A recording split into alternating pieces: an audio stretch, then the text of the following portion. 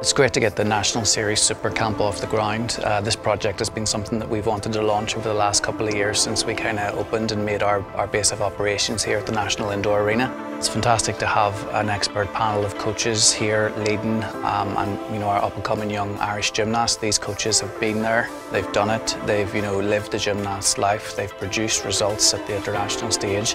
It's great then for these people to be able to impart their knowledge and experiences to our young gymnasts of the future for Ireland.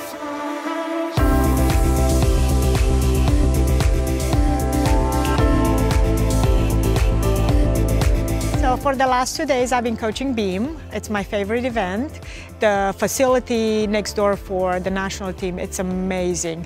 I think they have everything that they need to become a great gymnast and uh, contenders for medals.